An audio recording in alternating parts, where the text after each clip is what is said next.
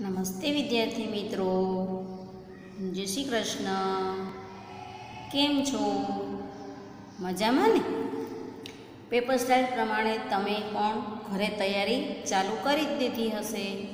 સત્રાંતિ paper style તમને બધાને મળી ગઈ છે, બરાબર? જો ન હજુ સ્કૂલેથી લઈ ગયા હોય તો યાદ કરી અને સ્કૂલેથી વહેલી તકે પેપર સ્ટાઇલ મેળવી લેવાની.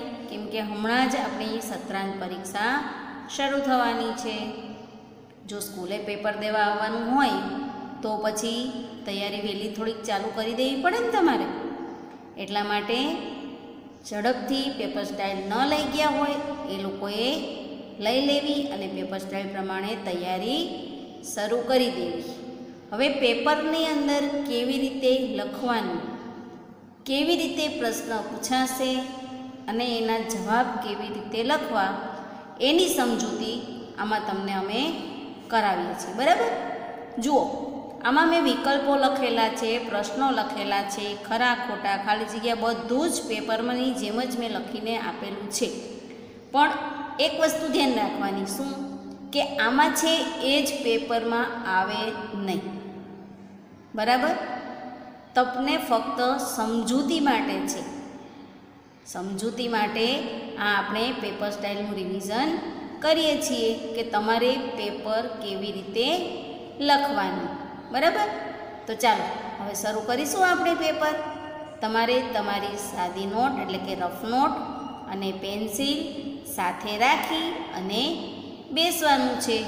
જો આમાંથી જોઈ જોઈને તમે મારી સાથે ન લખી શકો તો તમારે વીડિયો સ્ટોપ કરી અને લખી લેવાનું, બરાબર? એટલે ભૂલ થાય નહીં. તો ચાલો શરૂ કરીશું. આપણી સત્રાંત પરીક્ષાની પેપર સ્ટાઇલ તમારી પાસે આવી ગઈ છે. એમાં આસપાસની પેપર સ્ટાઇલ ખોલો અને જુઓ. એમાં પ્રશ્ન પહેલો અ. સૂચના શું છે? જુઓ જો એમાં કે નીચે આપેલા પ્રશ્નના વિકલ્પોમાંથી સાચો વિકલ્પ પસંદ કરી જવાબ કૌંસમાં લખો. કેટલા માર્ક્સ છે એના? છ માર્ક્સ છે. કેટલા? છ. બરાબર? એટલે વિકલ્પો પણ કેટલા પૂછાશે? છ. કેટલા વિકલ્પો પૂછાશે? છ. તો આમાં કેવી રીતે જવાબ લખવાના એ આપણે જોઈએ. જુઓ. મેં પહેલો વિકલ્પ લખેલો છે.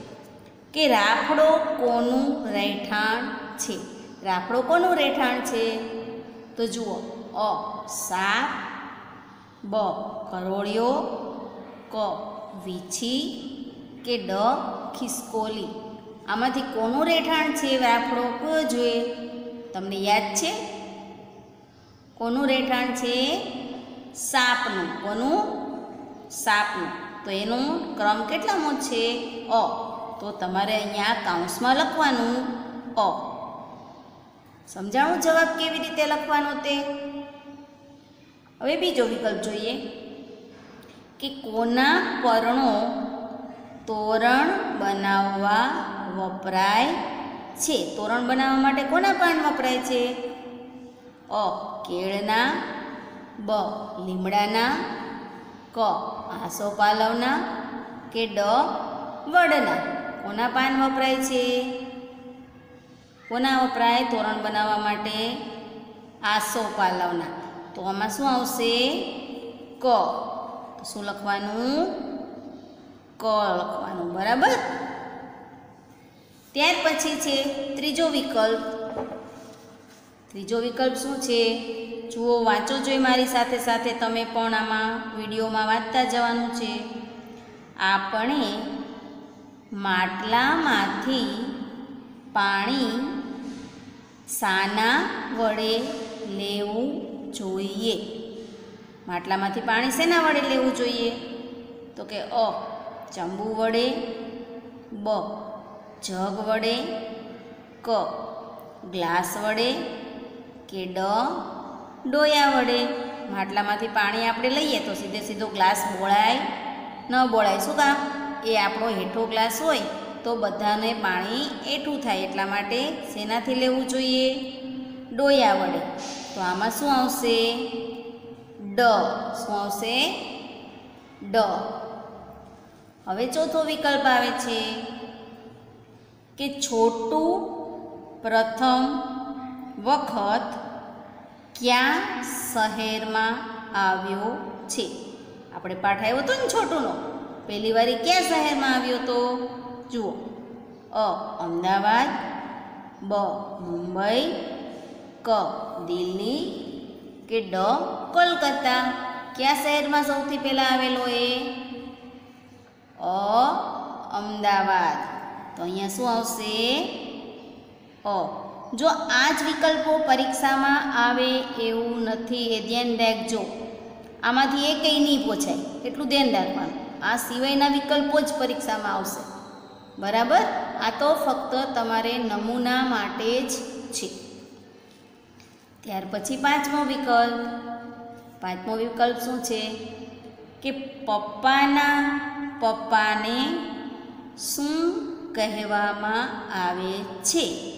આપણા પપ્પાના પપ્પા હોય એને આપણે શું કહીએ છીએ? તો કે અ, દાદા, બ, કાકા ક, મામા કે ડ, માસા. શું કહી છી? દાદા કહીએ ને પપ્પાના પપ્પાને શું કહીએ? દાદા. તો અહીંયા શું લખવાનું?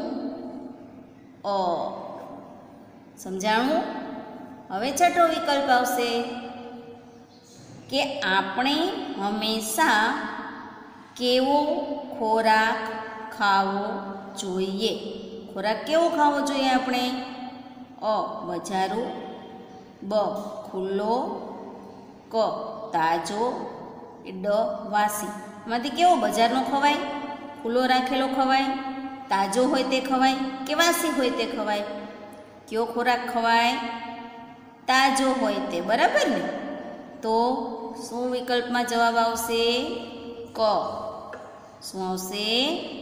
ક. આ રીતે પરીક્ષાની અંદર છ માર્ક્સ છે. એટલે વિકલ્પ કેટલા આવશે? છ વિકલ્પ આવશે. કેટલા આવશે? છ વિકલ્પ પૂછાશે. કોઈ પણ પાઠના. આપણો જે કોર્સ છે ને અગિયાર પાઠનો, એમાંથી અગિયાર પાઠમાંથી કોઈ પણ છ વિકલ્પ પૂછવામાં આવશે. બરાબર? હવે ત્યાર પછી પ્રશ્ન એક બ. પ્રશ્ન એક બ. જુઓ, એમાં સૂચના શું છે? તમારી પેપર સ્ટાઇલમાં પણ જુઓ તમે કે નીચેના પ્રશ્નોના ઉત્તર માટે કૌંસમાં આપેલા વિકલ્પોમાંથી યોગ્ય વિકલ્પ પસંદ કરી ઉત્તર લખો. કેટલા માર્ક્સ છે? બે. આ તમને એમાં સૂચના આપેલી જ છે કે કયા પાઠમાંથી પૂછાશે. બરાબર ને? પેજ નંબર તમને આપેલા જ છે. એમાં પેલું છે, પપ્પાની બાને શું કહેવાય? આપણા પપ્પાની બાને શું કહેવાય? આમ તો જનરલ આપણે ઘરમાં બધા એને બા જ કહીએ છીએ. પણ ખરેખર પપ્પાની બાને આપણે શું કહેવાય? ઉપરમાંથી જોવાનું છે કાઉન્સમાંથી જુઓ. મામી, ફુવા કે દાદી? શું કહેવાય? દાદી. બરાબર? તો અહીંયા સામે તમારે લખવાનું. દા દી બરાબર? પછી છે, મમ્મીના ભાઈની પત્નીને શું કહેશો? મમ્મીના ભાઈને શું કહેવાય? મામા. તો મામાની પત્નીને શું કહેવાય? મામી, મળી ગયો જવાબ સીધો. જો સીધે સીધું ખબર ન પડે તો આ રીતે આપણે વિચારી લેવાનું એટલે ખોટું પડે નહીં.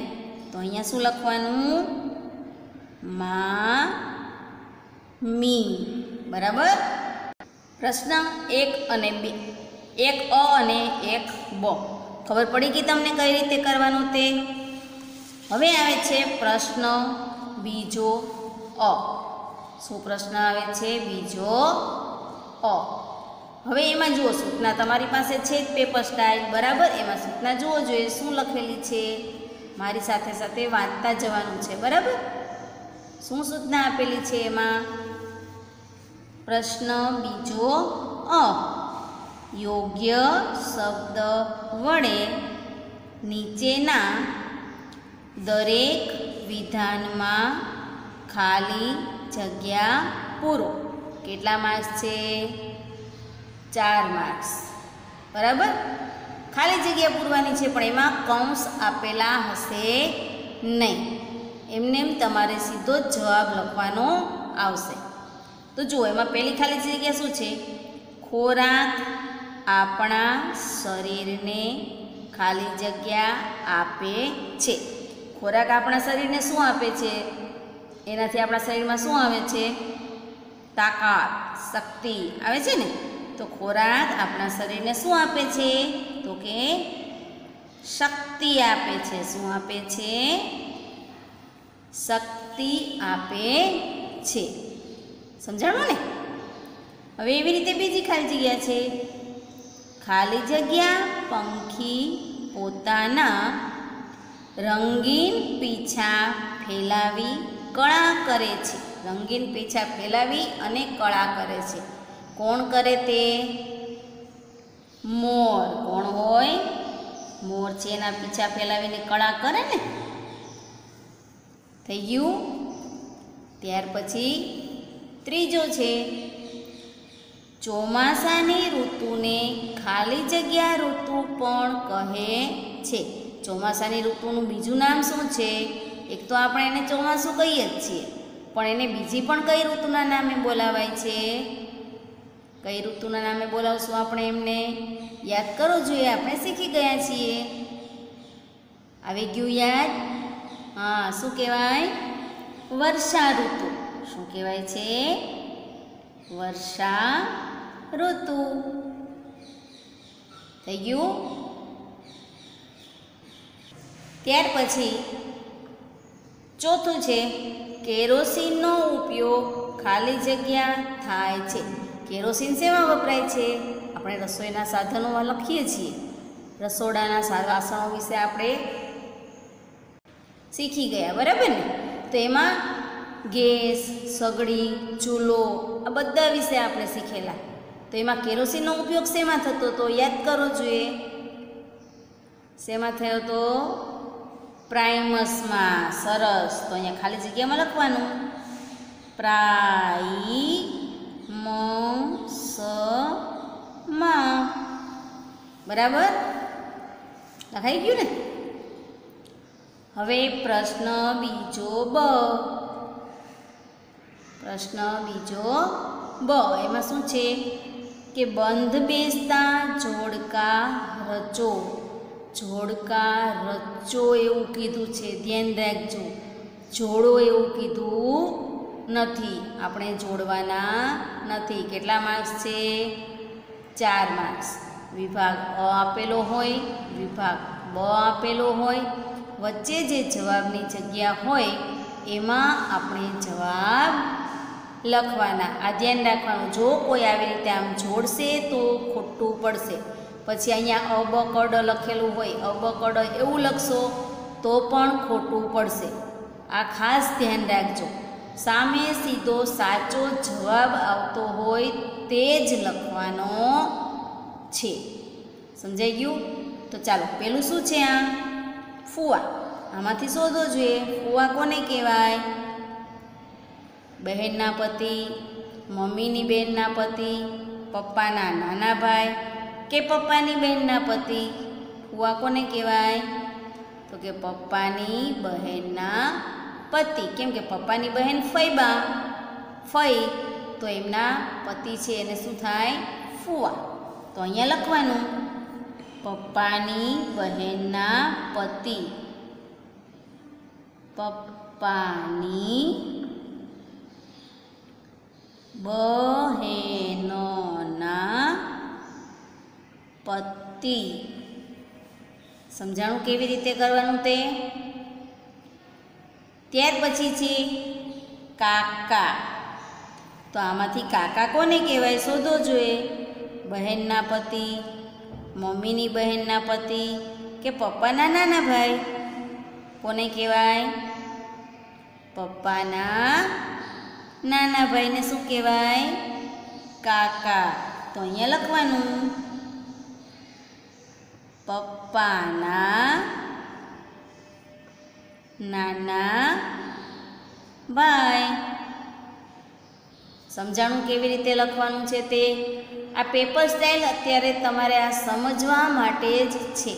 તમે ઘરે પાછી પેપરની પ્રેક્ટિસ કરો, ત્યારે તમારે કઈ રીતે લખવું એનો ખબર પડે તમને, ખ્યાલ આવે એના માટે જ આ સમજૂતી છે. બરાબર?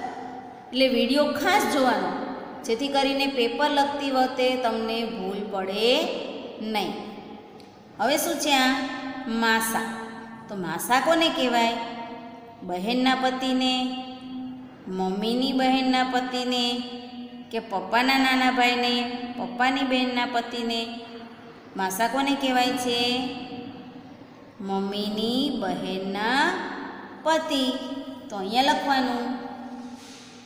કે મમ્મીની બહેનના પતિ. સમજાઈ ગયું? પછી છે બનેવી. હવે બનેવીમાં તો એક જ વધ્યું બહેનના પતિ. તો અહીંયા સીધું લખી નાખવાનું. બહેનના પતિ. એને શું કહેવાય? બનેવી.